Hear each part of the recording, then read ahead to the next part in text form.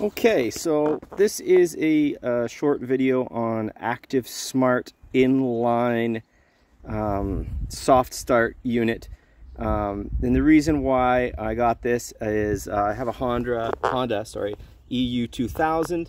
Um, it's a great little generator. However, um, I tried to use it uh, to start the um, air conditioner unit on my travel trailer and it will not start it on its own uh, you flip the AC on and it just bogs out and pops the uh, pops the overload on the AC. So I was like, all right, what do you do? Buy a, a, a new generator for, you know, thousands and thousands of dollars um, or um, somehow use uh, the generator that I have, which has been a great generator. I used it on a boat before.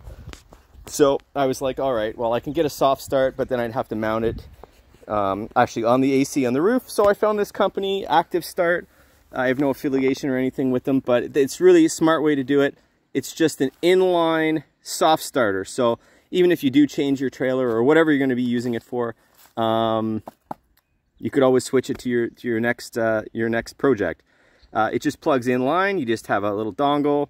It plugs right in, and uh, that's it. So I'll just show you. Oh, and it also comes with a really cool um, app that shows your uh, voltage, how many watts it's drawing via Bluetooth. And I have it out here and it, uh, you know, you could read the app uh, inside the uh, uh, RV as well. So anyway, so let's get this little guy started. I already had it warmed up, so.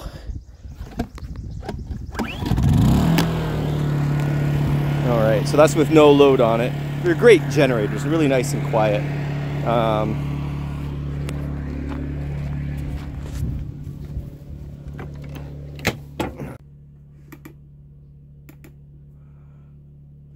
all right, so first we're gonna put the fan on, low, then high, and uh, the watt meter was showing that actually draws 511 watts when that starts. So that's actually a big draw. Um, let that run a little bit just let uh, the system stabilize. I guess there's capacitors inside that active start, so I'll let them make sure they're fully charged. Then you put your mode, AC, and there we go. It's got enough. It's got enough to uh, kick it on.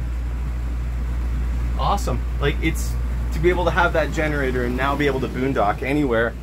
Um, there you go. Like it's blowing ice cold. So uh, I've already tested it. I ran it like half an hour, um, no problems. Uh, the most it pulls uh, when it's running um, without anything else on in the RV is 1500 uh, watts peak and it settles in between 1400 and 1500 watts uh, when it's running. So yeah, what a great little uh, device, got to give it to them. And you don't have to go up on the roof and mess with your air conditioner hardwiring it.